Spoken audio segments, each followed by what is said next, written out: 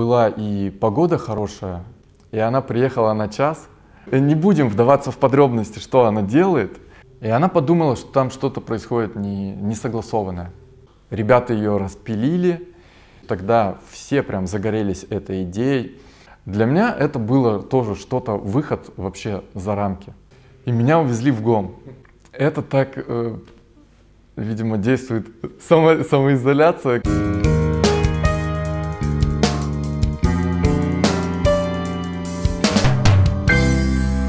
Всем привет! На связи культурный центр «Порт» и это очередной выпуск онлайн-модификации нашего культурно-просветительского проекта «Волшебная гора», во втором сезоне которого мы беседуем с ведущими представителями творческого сообщества Сургута и Югры. И сегодня у нас в гостях а, организатор фестиваля граффити и стрит-арта «Гаражи», а, автор проекта «Школа граффити. Гаражи», Э, популяризатор э, вообще культуры стрит-арта в Сургуте и в Югре Максим Яровой. Максим, привет. Привет, Юрий. Спасибо, что позвали. Спасибо, что пришел. Э, естественно, сегодня мы будем в большей степени говорить про стрит-арт и граффити, но начать я хотел бы немножечко с другого времени, когда ты еще этим не занимался. Насколько я знаю, первые твои такие шаги в сфере культуры э, города проходили в плане организации каких-то вечеринок и создания флеш-мультфильмов. Вот расскажи про этот период, э, почему ты начал этим заниматься, как это происходило и почему э, перешел к стрит-арту в конечном итоге. Еще в школе у меня были такие мысли, как по поводу проведения вечеринок, так и по анимации. Э, ну и вообще, в принципе, я увлекался рисованием.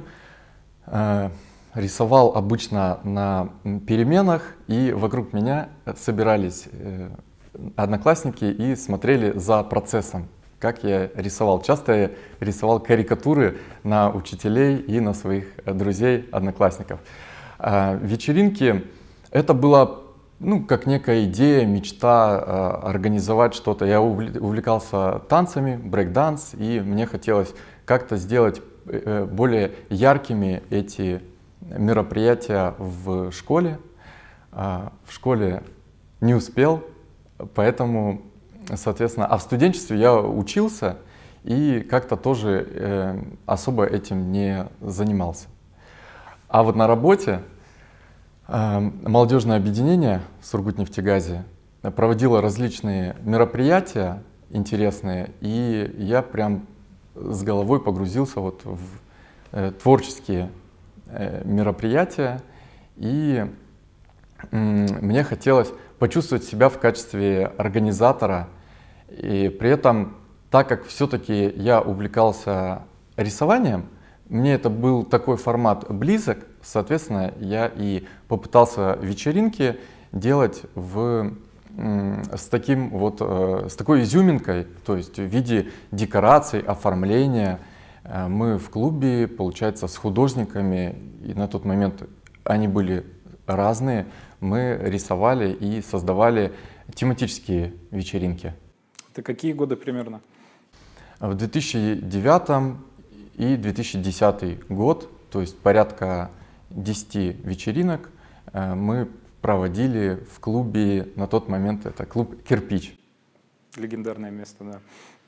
Да, до э, того, как туда пришли энтузиасты, художники, там в основном диджеи, у них были промо-группы, они проводили мероприятия. Из тематического это было что-то такое вот типа Хэллоуин или на Новый год, где было ярко, интересно, э, приходили в костюмах, то есть готовились к этим мероприятиям заранее.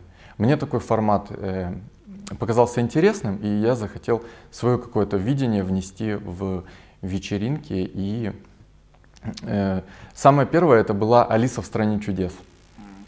То есть еще с того момента, как я в школе рисовал за партой, я как-то научился вот, э, вот эти, ну, э, использовать образы из массовой культуры, э, потому что на них аудитория как-то реагирует.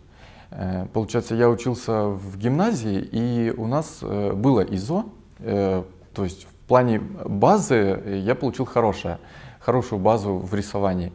Но мне хотелось в каком-то своем ключе и рисовать, изображать какие-то ну, идеи, задумки. Соответственно, если брать вот из что-то из фильмов или из комиксов, Э, что-то узнаваемое, такое массовое, то получается эффект э, ну, достаточно большой и сильный на аудиторию. Соответственно, «Алиса в стране чудес», которую мы провели э, в пятницу, это пятницы по сравнению с субботой были не столько популярные дни, но она на тот момент, как, что называется, выстрелила, и мы начали проводить и сотрудничать с диджеями, с художниками, и Э, целую череду э, вечеринок провели. А Комаров Сургут это начал рисовать э, раньше или позже? Комары Сургута я очень сильно увлекался анимацией. Я, если говорить, еще до школы рисовал и, рис, и учился как раз на мультфильмах Волта Диснея. И я останавливал э, на тот момент, когда вот, допустим, у меня был э, кассетный видеомагнитофон, я останавливал мультфильмы и срисовывал. Король Лев, допустим, там очень много персонажей, Тимон, Пумба, я их обожал и прорисовывал. Мне было удивительно интересно, э, как можно было характер персонажей передать через их внешний вид, образ. К тому же так, э, ну, как- как-то нарисовано не живописно, а именно персонализировано, то есть как персонаж. Мне это всегда было интересно. И я мечтал о своих персонажах. Здесь я взял, конечно, э, как пример это Масяня, которая на, в школьные годы была очень популярна. И... Да, после мультфильма «Масяня» многие увлеклись флешем и анимацией вообще. Да. Даже, даже я. Вот, э, я увлекался анимацией, участвовал даже в мероприятиях Компартия, э, в Спейсе она проходила. А, Комары Сургута, как они возникли? Естественно, я пос посмотрел, где я живу, в Сургуте, здесь очень много э, машкары, комаров, и начал этих персонажей оживлять, создавать. Сначала у меня первый персонаж был это Дряха, это мой одноклассник Андрей э, Большов. Я нарисовал его, назвал персонажа по его имени, а потом уже вот начал э, рисовать комаров, то есть различные персонажи, сюжеты, и я создал четыре ролика «Комары Сургута».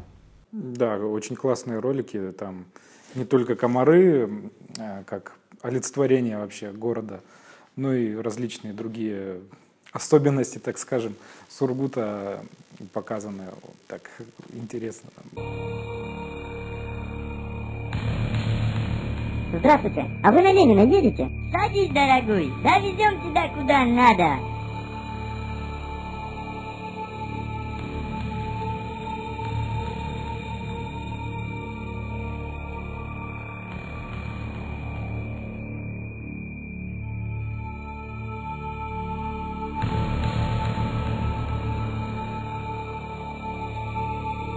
Победа, аллилуйя!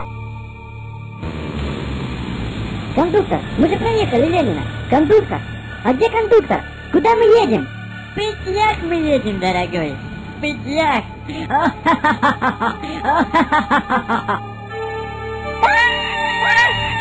Да, там были и особенности Сургута, и опять же какие-то отсылки к массовой культуре. Например, один из мультфильмов он пародирует э, сериал доктора, «Доктор Хаус». И сам, э, сама вот эта заставка, она была узнаваемая, и э, я думал, что мультфильмы тоже, ну, как бы выстрелят, да, вот как вечеринка, но получилось так, что YouTube на тот момент еще не был таким прям э, популярным э, местом, да и, по-моему, я Э, ну, то есть я, я не умел э, Ютубом пользоваться, и, но мультики выложил, тем не менее.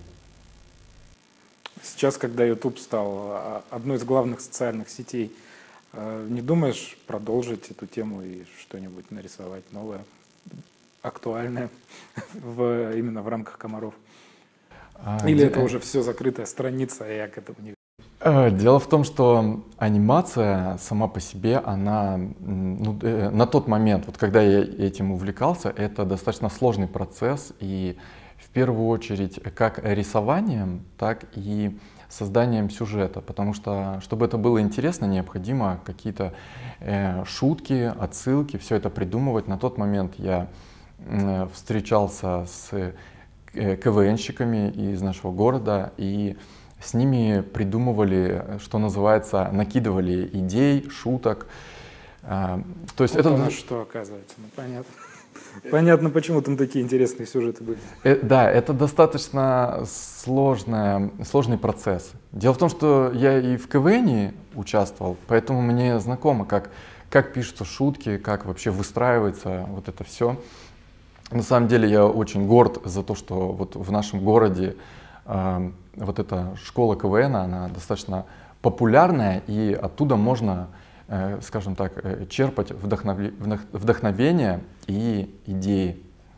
Потому что юмор, он, конечно, э, очень важное место занимает в, в медиа.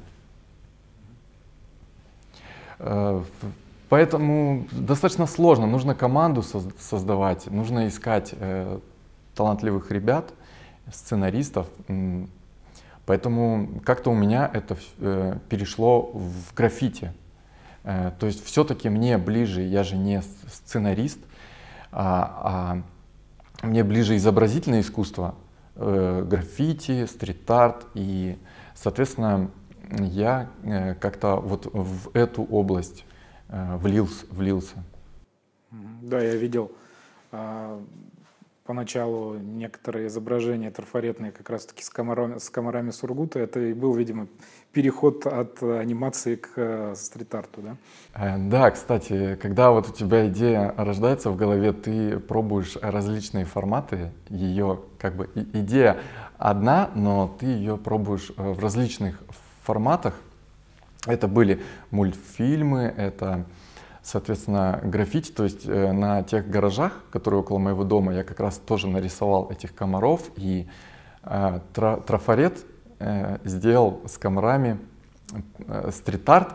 Меня на тот момент тоже э, вдохновлял и удивлял своей какой-то точностью, э, как, как это можно было, и быстротой, как можно было передать как, какие-то образы, посыл для аудитории перейдем к фестивалю «Гаражи». А, я так понимаю, что первый э, фестиваль был сделан нелегально, без каких-то согласований, просто э, ты решил э, облагородить то место, рядом с которым жил. Или либо это все все-таки носило какой-то отчасти официальный статус? Это было все официально. То есть мы провели гаражи фест под эгидой молодежного объединения Сургутнефтегаза.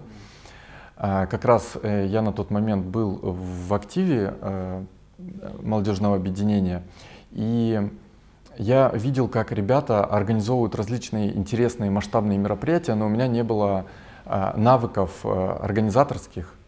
Соответственно, я как раз на клубе «Кирпич» потренировался Э, проведению вечеринок. И у меня всегда была такая идея о фестивале, э, чтобы развивать культуру граффити, стрит-арта, познакомиться с ребятами, кто вообще э, рисует и увлекается граффити. И рядом со мной были гаражи, и я увидел, что на них сидели как-то ребята. Когда я это увидел, мне показалась такая как идея, картина, если бы эту стенку э, гаражей изобразить в виде фотографии, где на, над Нью-Йорком э, э, строители сфотографированные на, на стройке. И у меня получается именно как, как бы от обыгрывания вот этого объекта гаражи и пошла дальше идея фестиваля. Э, я получил разрешение от э, владельца, от собственника этих гаражей, э, Это и, соответственно, ну, мы провели, то есть позвали, ну, сделали как бы объявление, что будет фестиваль, и собрали 8 команд. Это были все сургутские художники? Да, это были сургутские, в основном это были э, э, ребята, которые вот в, молодежном объединении Сургутнефтегаза состояли, они были э, взрослые ребята, но им тоже было интересно рисовать, попробовать себя в граффити. Э, э, но в то, в то же время я приглашал и, ну вот на второй год я уже приглашал вне конкурса э, ребят из города, кто Э, увлекается давно граффити, стрит-артом. Угу. А ты Амакса застал, э, в, когда уже начал заниматься стрит-артом?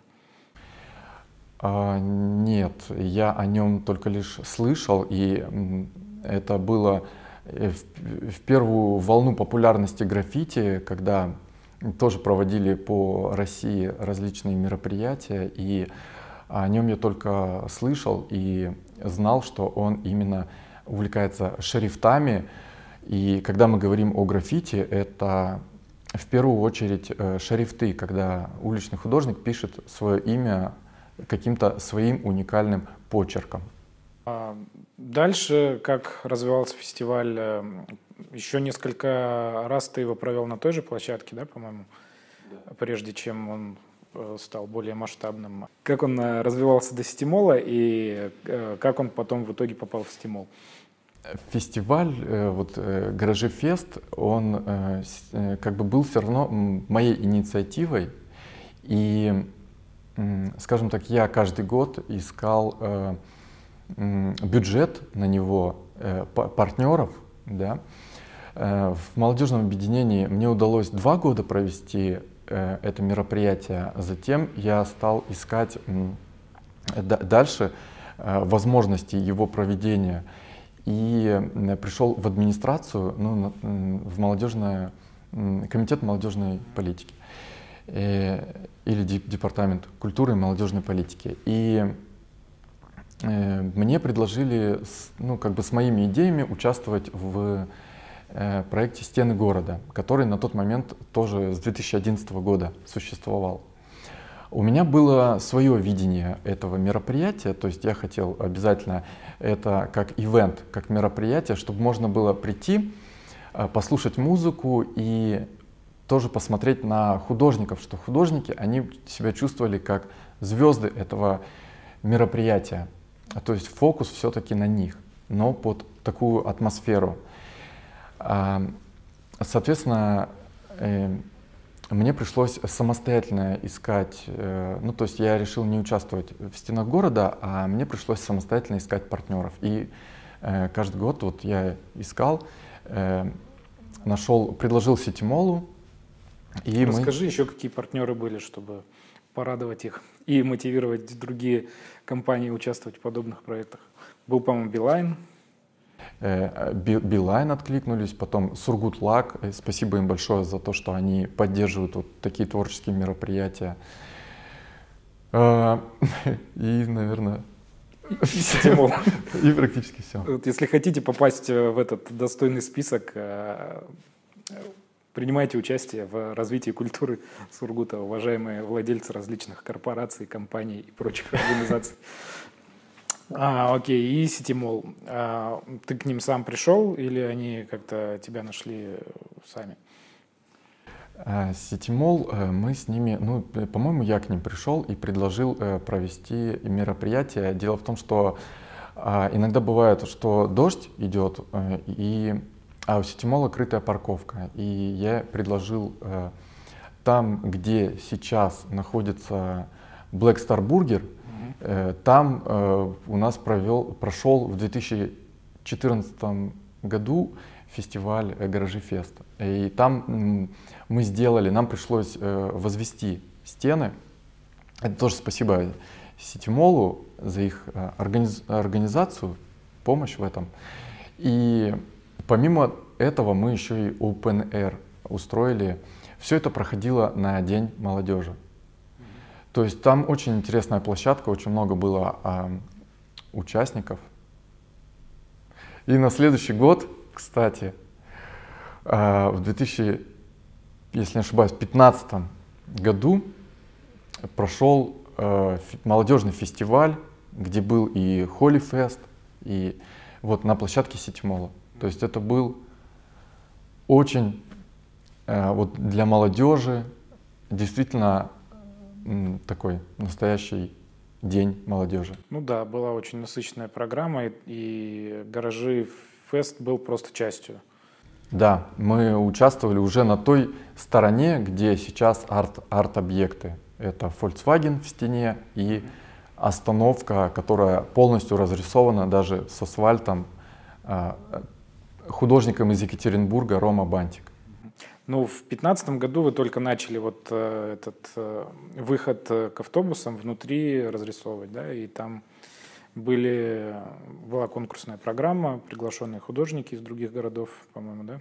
Да, Уже... были, у нас всегда, в принципе, участвовали художники из соседних городов, это вот Нижневартовск, Ханты-Мансийск и из Ноябрьска даже приезжали регулярно. Вот в том году как раз э, приехали девочки из, девочки из Ноябрьска, прям команда Санарт, они участвовали. Эти рисунки, которые были нарисованы, они и сейчас там есть, их можно увидеть. А если вернуться в 2014 год, э, когда вы возвели стены на парковке, после фестиваля их пришлось, в принципе, демонтировать по-моему, почти сразу, да? Э, спустя где-то год. А, спустя год. Да. Ну, то есть год они провисели, в принципе, это для стрит-арта даже доста- достаточно неплохо, если бы это было где-то в гаражах, они могли бы просуществовать меньше. Да, вообще, конечно, почему мы делаем, стараемся делать все легально, то есть согласовывать стены, чтобы это в дальнейшем не закрашивалось ни какими-то муниципальными службами или те же самые художники, участники, дети, которые пришли на мероприятие, и когда они видят, как это рисуется, когда они знают этих художников, то меньше происходит э, э, порчи этих рисунков, и они как бы служат для горожан дольше. Что я имею в виду? То есть можно сфотографироваться на фоне этих стен, э, ну и приятней самому проходить мимо граффити. Да, они а, местами абстрактные, но там чувствуется авторство. Ты знаешь, что за каждым рисунком стоит определенный художник. В шестнадцатом году, по-моему, фестиваль опять вернулся в гаражи возле детской библиотеки в 25-м микрорайоне. Почему так произошло и как прошел фестиваль в этом году? Э, в шестнадцатом году эм, я несколько лет, э, ну так как я искал э, финансирование, то есть я искал, рассылал коммерческие предложения и ну, их я научился делать еще, когда вечеринки проводил. Эм, и также участвовал в грантовых конкурсах, и я два года подряд ездил в Ханты-Мансийск и э, выигрывал, выиграл э, вот во второй год, мне удалось выиграть грант. Соответственно, у меня было финансирование, а тот объект, гаражи, который был вот изначально, а, он, там очень много стен, и с одной стороны мы разукрасили, и была возможность разрисовать с другой стороны. То есть мне хотелось э, создать из этого объекта арт-объект, когда э, на нем сами художники рисуют и создают э, свои работы самостоятельно. При, э, в, в принципе, это удалось. То есть там действительно как арт-объект, и там периодически возникают новые работы. В этом году я сам даже нарисовал э, работу на этом объекте. Не та ли это работа, которая э, читается только с одной точки? Да. То есть как раз ту стену, которую в первом фестивале мы обыграли в качестве фо фото э, строителей на балке над Нью-Йорком, Кстати, для того, чтобы вот эту фотографию сделать, мы тогда э, заказали автовышку, и она приехала на час, чтобы всех участников сфотографировать тоже с определенной точки э, сверху. Там э, были фотографы, я, э, ну, в общем, ребята, я помню, R17, они и видео, и фото снимали с э, автовышки.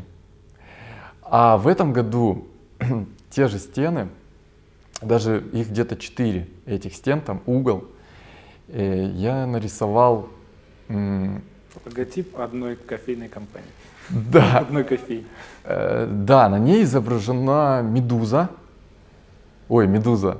Не медуза. Русалка. Русалка. Ну, по сути, она медуза. Ну, что это имеется в виду, что русалка, сирена, она, это мифическое существо, как хищник, потому что она своей там, песней в пучины морские заманивает э, моряков. И убивает. Насколько я помню. Ну, не, не будем вдаваться в подробности, что она делает, но она ведет себя как хищник, и я ее изобразил в маске хищника. Это персонаж тоже из поп-культуры, довольно известный. И вот у русалки там так изображ... изображены ее локоны, а вот у этого хищника у него типа дреды. И это, то есть я соединил два образа. И э, хищник, он как хамелеон, он прячется в среде. А тут, соответственно, так получилось, что как раз в невозможно увидеть полную картину этого, э, ну, этой русалки, только если вот с одной точки ты ее увидишь. То есть рисунок как бы спрятан. Э, недалеко от культурного центра порт я видел еще одну подобную русалку. Сколько их всего по городу? Их я... Такая прямо стрит-арт интервенция. Ну, это так, э, видимо, действует само, самоизоляция, когда тебе хочется э, твор, творчеством э, позаниматься, да.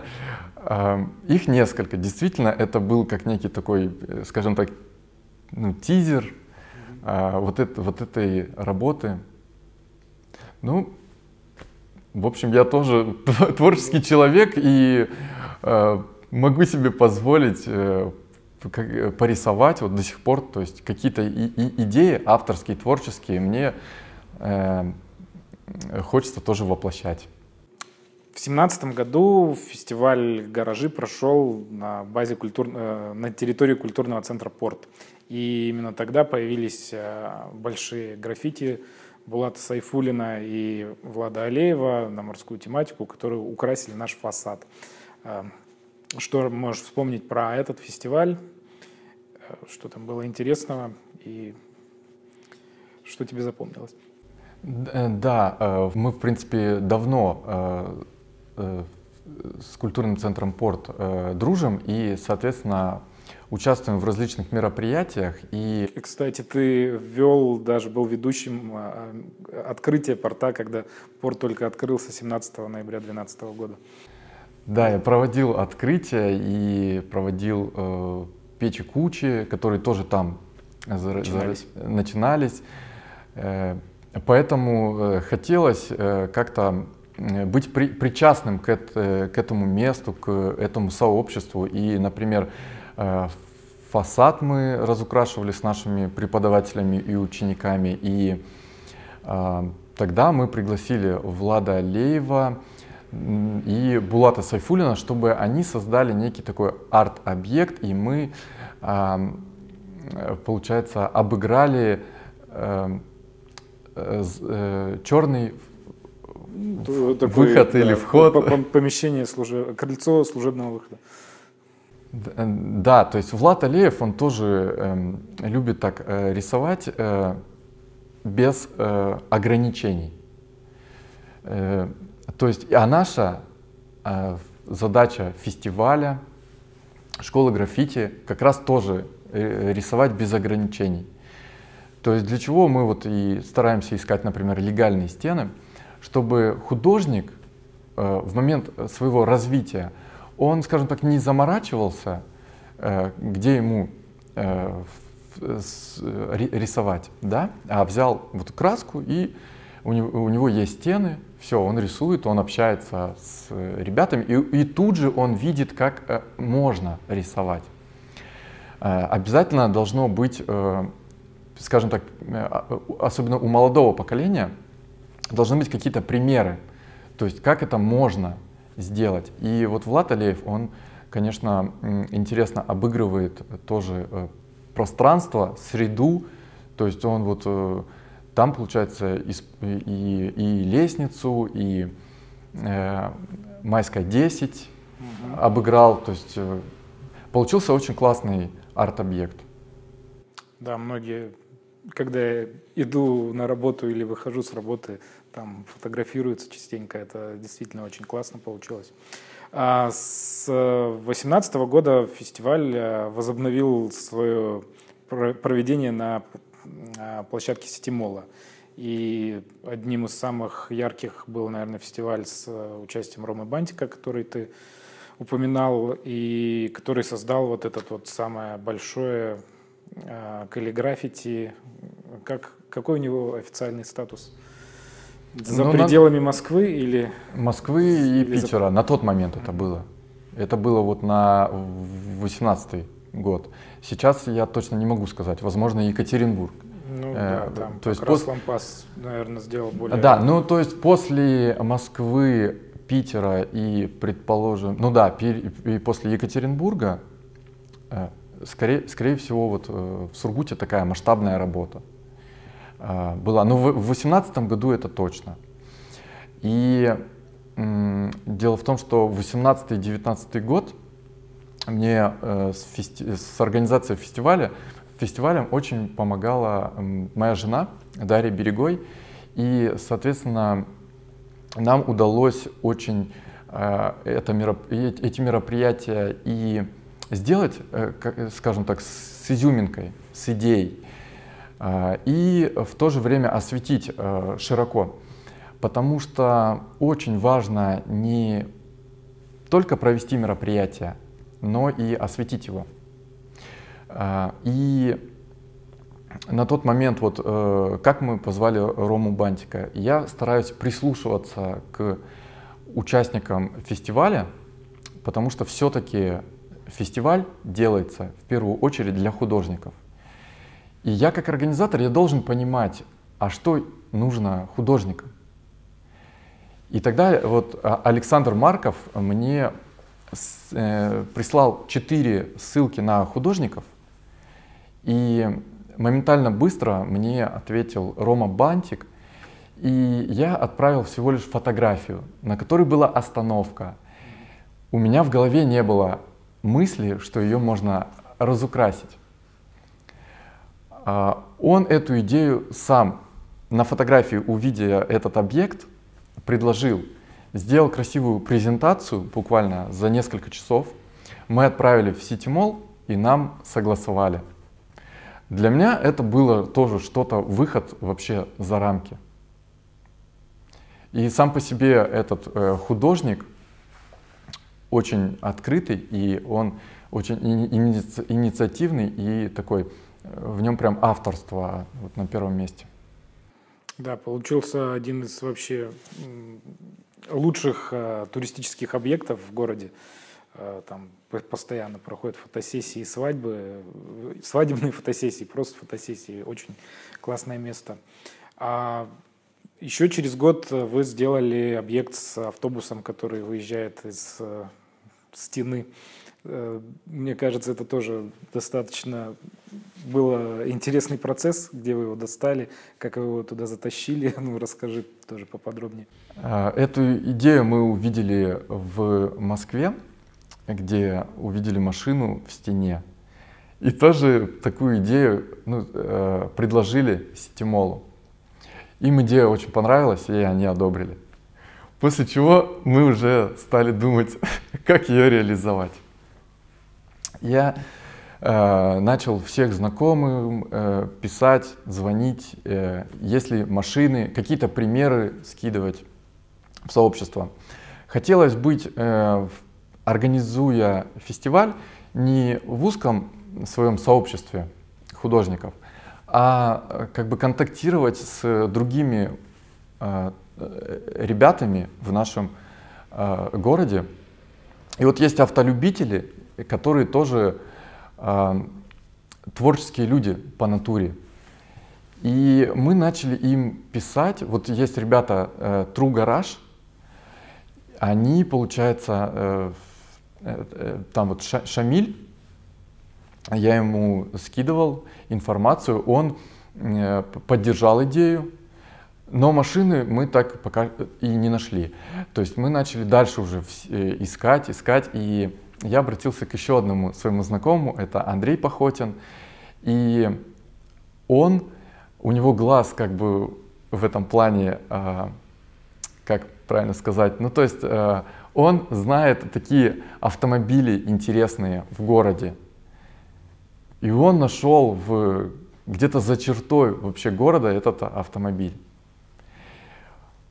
Потом шла серия каких-то встреч, договоренностей, и мы ее нашли, и уже большой командой привезли ее в Сургут, вот в, на станцию Тру Гараж. Ребята ее распилили, и потом, получается, привезли прямо накануне фестиваля это было что-то такое удивительное, для нас это невероятное, то есть тогда все прям загорелись этой идеей. А, Влад Алиев со своей командой, они уже тоже придумывали идеи, как ее обыграть, расписать, и мы ее ре реализовали. Это было что-то такое для нас удивительное. Это действительно выход за, как, за какие-то рамки. Да, это тоже крутой объект. То есть а, сначала каллиграфическая остановка, потом автомобиль. На 20 год тоже была какая-то такая изюминка, планировали, планировалась ли тобой, которая не состоялась по понятным причинам? Да, мы заметили, что в рамках наших фестивалей мы создаем такие объекты, похожие на циклораму. Вот фотографы или наши зрители, если интересно, посмотрите, что такое циклорама. А, и такая циклорама, кстати, вот стоит в Ситимоле в рамках 2019 э, года. Помимо автомобиля мы создали в виде комиксов. И там разрисован и, и, и земля, ну, на которой можно стоять, и стены. И э, в 2020 году э, мы хотели пойти еще дальше и создать э, Э, что-то связанное, в общем, с цифровыми технологиями. Я ну, полностью идеи не буду рассказывать, но мы с, не, с некоторыми художниками уже эти идеи, скажем так, э, ими э, поделились и э, обсуждали. Да, но э, не удалось, к сожалению, ре реализовать. Ну, желаю, чтобы в 2021 году все-таки и фестиваль смог состояться в полном объеме, да и мы тоже смогли начать работать э, в привычном режиме. Что касается фестивалей граффити, параллельно э, с ними ты еще занимался другими проектами. В частности, совместно с Булатом Сайфулиным вы делали вернисаж уличной культуры Behind the Wall. Э, первый такой, можно сказать, тестовый, и второй масштабный, который проходил на парковке вершины. Расскажи тоже об этих проектах и о своей роли в них. А, так, так как вот я занимался фестивалем и а до этого вечеринками, то есть у меня был большой опыт организации мероприятий э, и со, составления, скажем так, э, сметы этих мероприятий, Э, то есть, что, чтобы, скажем так, не уйти в минус. Э, потому что для организаторов э, различных мероприятий это частое явление. И получается, эм, тогда у Булата, вот когда вообще мы с ним начали какие-то мероприятия обсуждать, идеями делиться, у него было очень много различных интересных идей. И он меня как участника своей команды, то есть он позвал поучаствовать. И что мне нравилось у Булата, несмотря на то, что вот он как он художник, но тем не менее у него все э, по, по полочкам э, было, и каждый человек в э, творческом коллективе занимался своими делами. Соответственно, э, э, такие мероприятия, как, например, в вершине, они, конечно же, делаются в команде. И очень важно здесь э, скажем так, э, ну, работать, что называется, слаженно. Мероприятие было очень э, успешным, ярким и э, ну, я не, не помню каких-то подобных вот на, проведенных на парковке, не считая гаражи фест. Там то, тоже Булат участвовал, кстати, с картинами. И мы тогда позвали Макса 13, это был гость, э, и, в принципе, очень много было людей, кто туда, кто туда пришел. Все были довольны этим мероприятием, то есть э, оно, скажем так, удалось. Это был первый опыт работы с, как, с приглашенным, а, с приглашенной звездой стрит-арта, так скажем. Но он тогда, может, еще не был звездой, но потом он стал как бы одним из ведущих, мне кажется, художников граффити в в России? А, позвать его была идея Булата. Моя задача часто просто прислушиваться к художникам, причем разного возраста, и максимально стараться э, какими-то ресурсами им э, помочь, подсказать. Так и родилась наша школа граффити-гаражи. Девятилетний художник Клим звонил, с, ой, писал ВКонтакте с декабря где-то мне, когда вы откроете школу граффити, и э, как-то не хочется игнорировать молодежь, хочется прислушиваться и максимально что-то делать для них. Э, Все-таки наш город э, Сургут, он же, для, э, как мне кажется, молодежный. И он писал мне месяца 3-4. И это меня побудило э, искать место для школы граффити, потому что до, для, до этого мы с фестивалем проводили еще мастер-классы регулярно. Ездили в Нижневартовск, проводили там э, мастер-класс. Все, мы нашли место и стали проводить э, уроки школы граффити. То есть в моей деятельности задача прислушиваться к творческим ребятам, которые мне пишут, что-то интересуются. Начиналось это, да, там, банально. Где купить граффити краску, как попасть вам в, э, на фестиваль, э, где можно порисовать в Сургуте легально и так далее. Угу. Сколько лет существует школа граффити? С, вот э, мне, мне писал в 2016 году Клим. Угу. Ну, 3-4 года где-то, да? Э, ну, учитывая, что мастер-класс, то более 4 лет. Э, с 16 года. К тебе в основном ходят э, школьного возраста, наверное, да? Э, ученики. Э, за эти 4 с лишним года кто-нибудь из них достиг каких-нибудь э, таких э, высот для того, чтобы участвовать в том же фестивале, э, рисовать какие-то работы, стать более-менее известным, популярным? Из ребят, кто вот участвовал, скажем так, сначала школа проходила в виде мастер-классов и каких-то, каком-то больше как наставничестве и э, участия в конкурсах. Мы же еще различные проводим конкурсы. Например, на День нефтяника регулярно проходит э, конкурс граффити для художников, там разного уровня участники. И а, вот а, Варас Еритян, он участвовал неоднократно и в культурном центре «Порт» с спрей-артом. Да, на морском фестивале. Да, он также мне просто говорил о том, что он хочет попробовать э, спрей-арт. Все. И мы, получается, на фестиваль, который проходил э, первый в Ситимоле, Мы прям буквально накануне, накануне приобрели ему все необходимые инструменты, то есть поехали вместе в Леонардо, купили там какие-то э, штуки для вот э, спрей-арта, что ему нужно было. Что-то он, э, у него уже было, и он там э, попробовал спрей-арт. Потом у нас Екатерина Горячкина также участвовала в э, дворовом фестивале. В, мы, нас позвали с мастер-классом. Она у нас поучаствовала и потом пришла к нам в школу граффити. После чего э, она вот втянулась в мероприятия различные в городе, в творческие.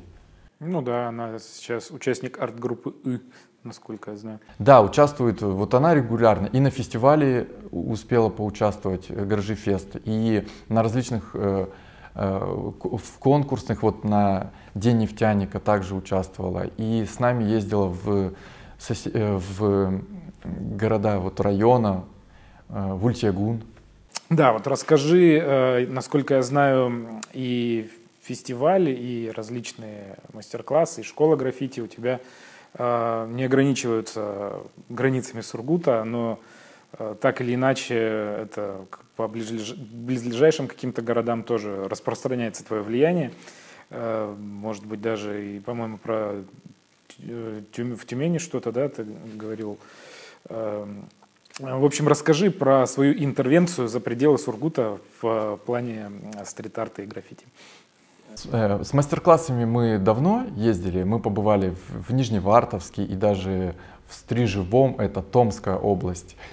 И э, также, получается, с различными мероприятиями ездили и по близлежащим э, населенным пунктам, э, типа э, Белый Яр, поселок Барсово. И э, получается, к нам на фестиваль также приезжают художники из, э, приезжали из других городов.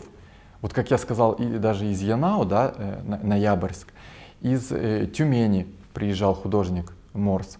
И мы же со всеми поддерживаем э, контакты, общение и стараемся как-то де делиться нашим опытом и э, какой-то возможно, каким-то нашим видением, как можно развивать в своем э, населенном пункте культуру граффити, стрит-арта. Ну, то есть э, в больше, э, чаще всего к тебе обращаются кто-то с предложением провести там серию мастер-классов или там какую-то разрисовку стен. Да, и тут же идут какие-то э, коммерческие проекты. Э, параллельно с, э, с фестивалями, которые развивают авторство, существует еще и коммерческая сторона вот этой культуры, потому что граффити можно рисовать на заказ. И, соответственно, ну, художник это должен, естественно, понимать.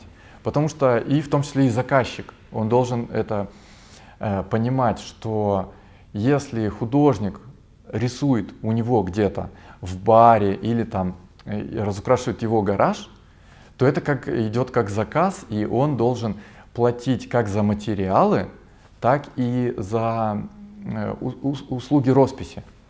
Ну, то есть э, вот такая ситуация, когда приходит заказчик и говорит, я разреша, разрешаю вам нарисовать мой логотип в моем заведении, но платить вам за это ничего не буду.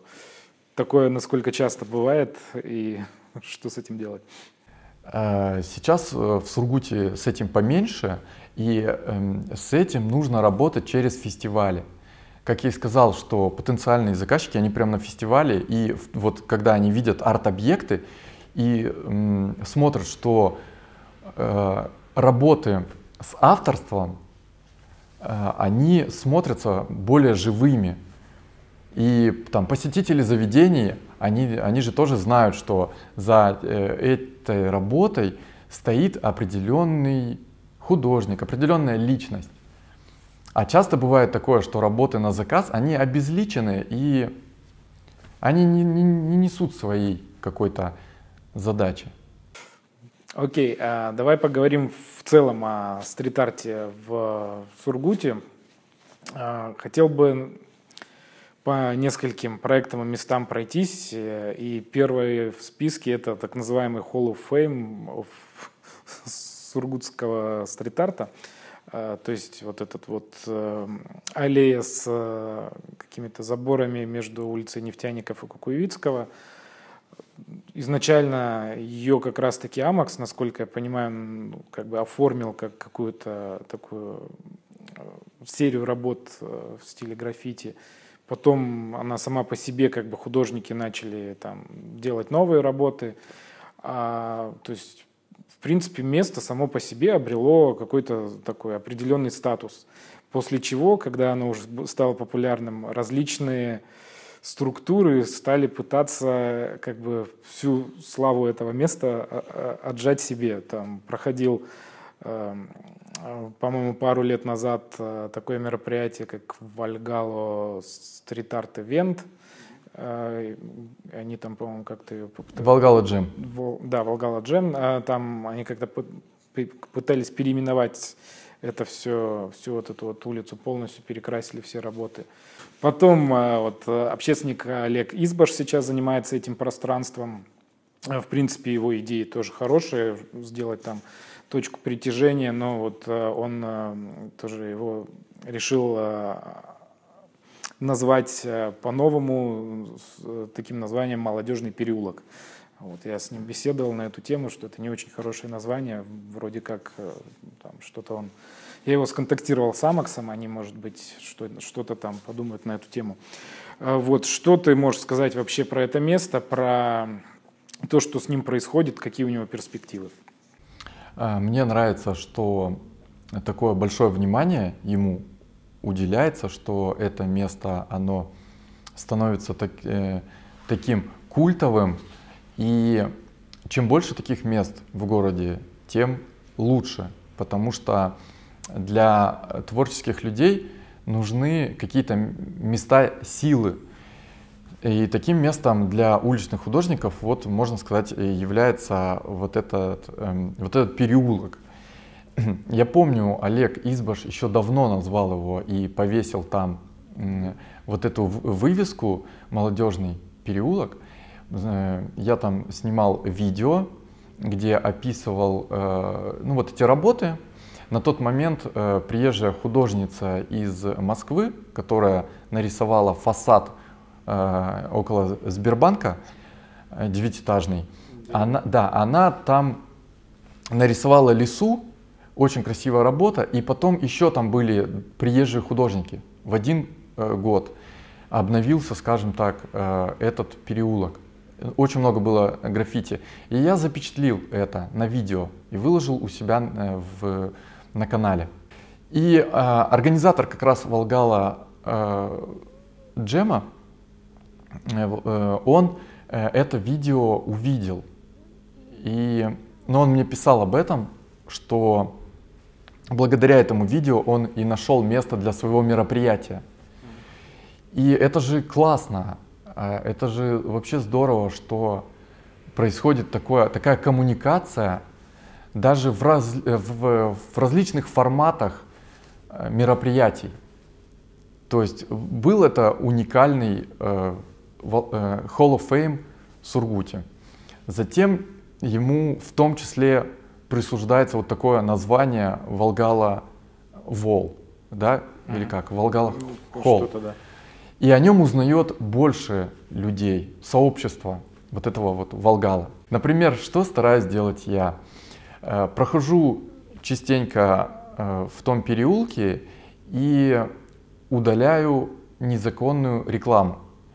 Потому что незаконная реклама — это такой же вандализм, как и незаконная да, граффити, где вот, ну, которые детишки рисуют, просто вот впервые взял баллончик и начал рисовать, пошел по городу, теги некрасивые. А, и незаконная реклама — это такой же вандализм. И, соответственно, вот и я, по крайней мере, удаляю эту рекламу с граффити. Э, то есть э, тем самым э, граффити дольше живет и радует горожан и их авторов.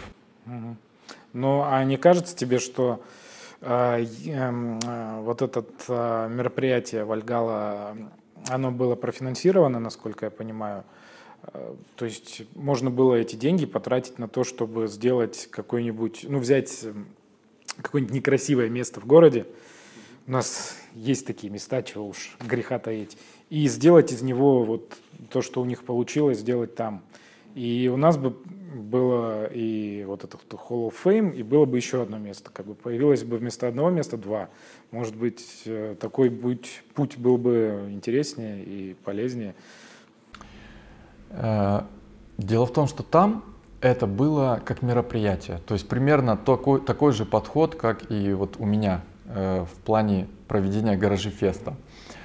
Потому что художникам необходимо у них не стоит задачи что-то там облагородить, да?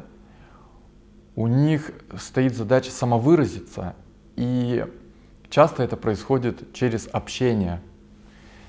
И когда к нам приезжают, э, допустим, э, гости, или если бы приехал Амакс, это как искра, э, которая зажигает всех на год вперед ну вот это вот а, э, мероприятие. Э, у всех ребят глаза горят, они рисуют, то есть они ловят вдохновение, да, и это заряжает. А по поводу новых мест, они создаются как-то, вот арт-объекты, они все-таки должны создаваться естественным путем как и само вот это место, будь то сквер молодежный, ну неважно, как мы его назовем, да, но оно, оно есть, и оно там создалось э, уникально. Еще один большой объект, который у нас в городе существует, это э, граффити «Культура улиц». Насколько я знаю, ты тоже какой, к нему какое-то имеешь отношение. Расскажи об этом проекте, как он появился. А мы общались с художниками, с Александром Марковым, и, как обычно, в момент общения обмениваешься какими-то мыслями, идеями. И так получилось, э, что э, в тот момент э, была и погода хорошая, и краска нашлась, и все как-то так сошлось. сошлось. На тот момент это было как, если говорить о самом процессе, то это, конечно, было не э, э, совсем по э, каким-либо регламентам выполнено, но так как уже давно эту стенку разукрашивали граффити приезжие художники в рамках проекта «Стены города», и она около университета, то эту стенку, я так понял, как бы легализовали. Ну, примерно как и Hall of Fame, которые должны были легализовать, но когда я уточнял этот момент, а есть ли бумажка, вот, например, я собираю на каждый объект, который у меня уже э, три гаражей, это гаражи недалеко от культурного центра Порт, это первые гаражи на Федорова, 5, недалеко от Федорова 5. И гаражи напротив Додо Пиццы, которые в этом году тоже превратились в такой вот арт-объект изображением черепашки-ниндзя. Очень красивый такой получился. И у меня есть разрешение на эти объекты. Когда я уточнял у организаторов, есть ли такая бумажка на Волгала, Хофе, а мне сказали, что как бы этот момент не добили и официальной бумаги нет. Но я знаю, допустим, важность этого момента, потому что когда я проводил фестиваль, на, ну вот на тех гаражах, а у меня с собой не было, э, не было, не было э, бумаги, и меня увезли в ГОМ. Интересно. Перед фестивалем. А, позвонила охранница, которая не знала, ну вот с, э, рядом э, здание ЖЭО, И она подумала, что там что-то происходит не, не согласованное. У меня Мир не без добрых людей. Да, у меня были бумаги, но дело в том, что на, э, в, тот, э, в том году из-за дождя мне пришлось перенести. А мы писали, э, в том числе и в, в УВД, ну то есть куда необходимо, мы писали. И с собой у меня не оказалось, и э, получается, да, что... Ну, в общем, в ГОМе там вы разобрались достаточно оперативно. Да, я, я написал как есть, то есть что, вот, что это фестиваль. Тебя отпустили? Да. Фестиваль состоялся. Хорошо. А с культурой улиц, э, ну, я понял, э, официальный статус не очень определенный. Ну, то есть это выглядит так, что вы просто хорошая погода, позвонил, там, написал художникам, вы собрались и просто его взяли, за день сделали. За несколько дней. За несколько дней. Ну, это, не знаю, как-то... Это просто такое, такая здоровенная стена, такое большое граффити. Неужели так его спонтанно просто можно было взять и закрасить, нарисовать? Дело в том, что Какие-то эскизы же. Дело в том, что в Сургуте есть неформальное как бы такое э, сообщество, культура. Вот культура граффити уникальная, она в Сургуте есть. И если кому интересно, э, я сам обратил внимание, что ребята стали так больше, вот, э, ну как-то как в соцсетях себя позиционировать, да, под таким названием Lost Kids Mag. Mac, магазин. Lost Kids Mac. Это прям как субкультура. На самом деле это то, что, о чем, наверное, я мечтал. Создать какую-то такую гаражную субкультуру, где, где бы уличные художники, для них это было ну, как, как-то важнее не какое-то хулиганство, а больше что-то типа самовыражения и гаражи для меня это некая такая метафора, да, то есть это вот, вот э, внешние стены гаража, это как раз коммерция, заказ, заказы, там какая-то реклама, а внутри гаража это твой мир, это твой то, над чем ты, что тебя вдохнови, вдох, э, вдохновляет, э, твои какие-то, твое видение. И Lost Kids Magazine это вот такая некая такая субкультура, они еще фотографируют на пленочные фотоаппараты. Они стараются ловить момент, как я понял. И у них граффити одно из тоже важных мест в их культуре. И я читал статьи этих ребят, и они за пределами даже России, то есть их культура разошлась. Это целое сообщество. Хорошо, как ты участвовал ли ты в, в том процессе, когда появилась информация о том, что вот это граффити культура улиц собираются закрасить и нарисовать там березки? Э, и ну, пошла волна как, такого как бы не протеста, а как, ну, возмущения э, со стороны не только художников, но и вообще просто жителей Сургута, которые писали там в соцсетях на Э, страницах администрации, на страницах того проекта, который вот хотел перекрасить это все. Э, как-то ты участвовал в этом и как ты отнесся к тому, что в, итоге победил здравый смысл и гра граффити осталось?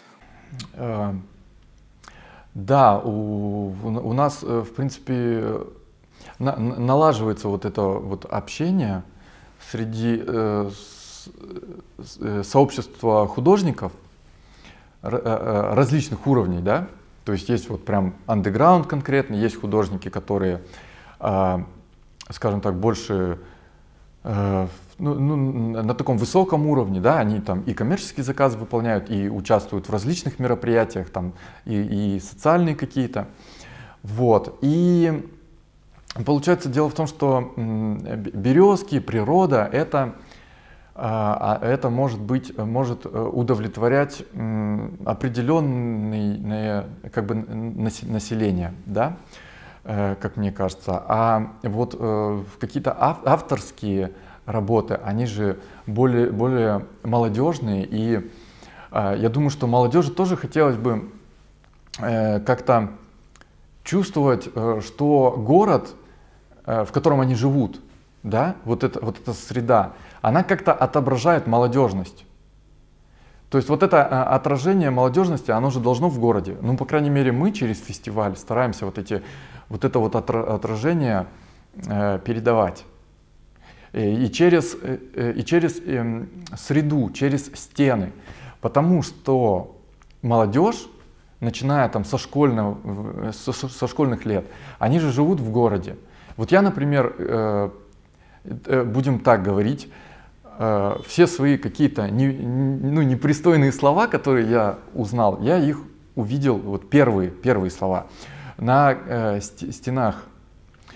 И э, вот либо у нас, то есть э, стены, они как отражают э, культуру города. И вот если у нас будет преобладать, преобладать э, красивое э, граффити, молодежное, стрит-арт настоящий и на высоком уровне, то молодежь, она как бы будет э, вот это э, чувствовать. Она будет, во-первых, понимать, что в городе есть место для молодежи. И второе, мы будем работать в этом плане над повышением как, э, как бы культуры. То есть, что ребенок взял баллончик в руки, но он изучил, а кто стоит за этими граффити – художники, а я, может быть, также могу. Он ему напишет, э, заведется какой-то диалог, появится наставничество, и будет меньше э, вандализма. Вот, я так думаю. Угу, хорошая сверхидея. В прошлом выпуске, когда мы общались с Булатом Сайфулиным, я вот задавал ему этот вопрос, хочу задать его тебе по поводу э, муралов, которые у нас есть в городе. Их два, и оба они сделаны приглашенными художниками, которые, которых привезли чисто под эти заказы, они их нарисовали, уехали. То есть это не фестивальная история, когда эм, какие-то приезжают художники, там делятся опытом, общаются друг с другом, а чисто такая коммерческая.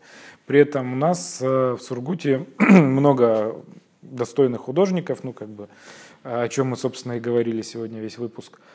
Э, Многие, некоторые из них, причем даже рисуют муралы в других городах, но в Сургуте почему-то происходит все не так. Может быть, ну, у Булата не было ответа на этот вопрос. Может быть, ты что-нибудь знаешь или вообще какое твое мнение? Ну, Сургут это же, как говорят, э, вахтовый город. И я не удивлюсь, если уже вахтовики-художники приехали и разукрасили наши фасады. А, ну а если серьезно, я думаю, что а, если вот творческие ребят будут, э, скажем так, извне приглашать, то наш город так и останется вахтовым.